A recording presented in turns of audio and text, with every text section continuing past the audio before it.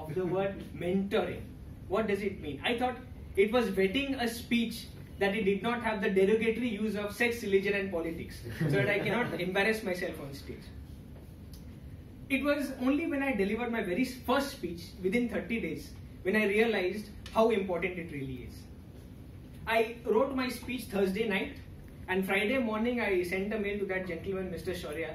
Shaurya, my speech is ready. Can I deliver this Friday evening? He's a very sensible fellow, as you can look at him and understand.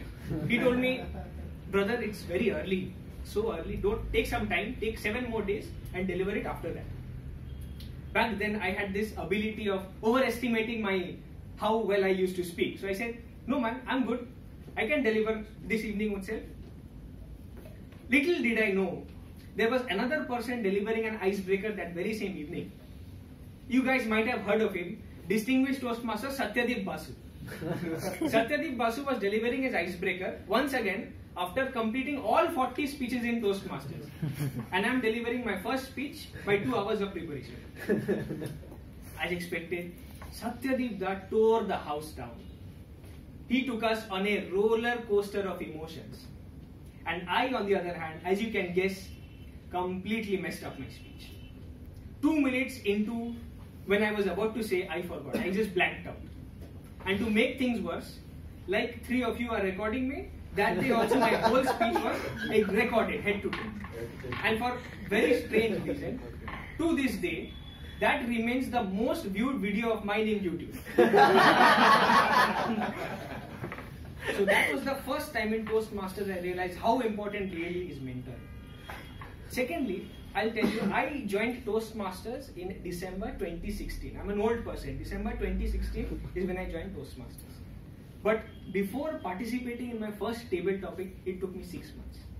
It took me the next time of next renewal before I gave my table topic. I came up with all sorts of excuses. I I'm not feeling too good. I have a sore throat. I'm in a bad mood. I'm going to embarrass myself. I cannot go on table topics. One day it so happened the table topic master was Mr. Shaurya Roy. this is what he said. I'm the table topic master for the evening and I will choose the next participant coming on stage. so the first person coming on stage is none other than Toastmaster Rohan Mitra. The fact that Rohan Mitra did not pee his pant that day still astounds me to this day. I cannot believe I did not do that. I came on stage. He said, Toastmaster Rohan, your topic is better late than never. Better late than never.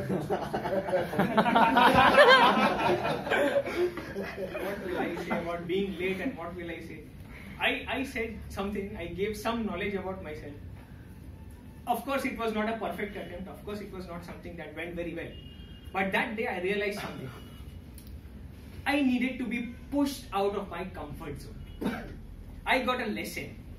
Comfort zone is a wonderful, very peaceful, very beautiful place, but you can never really grow when you are in there, when you are stuck in there. The final experience that I want to share regarding mentoring is a turning point that I believe in my Toastmasters journey. It was the 500th meeting of Kolkata Toastmasters Club held at Vedic Village. Now, the attendees were the who's who of the business community of Kolkata. Pabrais, Churiwals, net worth in that house must have been 10,000 crores. and I reached, Uber, I reached uh, SLTM by Uber pool. That was the disparity in the number of people that were there. I told my mentor, I'm not too sure about this. I have never played the role of TMOD. I have never spoken outside the four walls of my own club. How will I manage? But my mentor was very steadfast.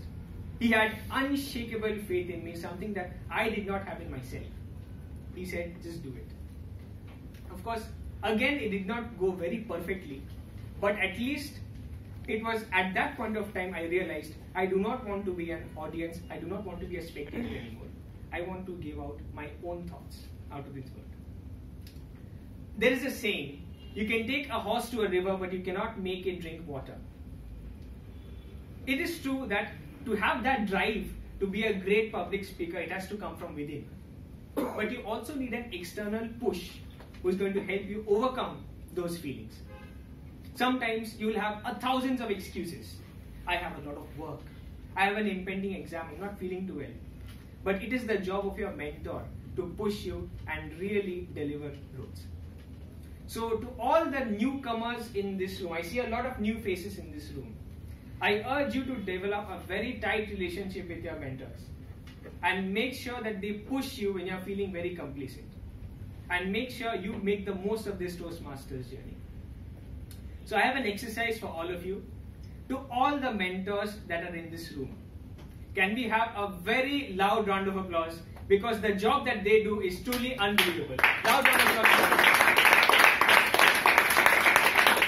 And to my mentor in particular, you might not be Naveenji or Siddharth Churiwal, but you have helped me in a way that I cannot I cannot thank you enough for what you have done to me for two years. So thank you, my dear mentor, and everybody else. Make the most of this relationship and the, make the most of your Toastmasters journey. Thank you, and back to you, Madam Master of Ceremony.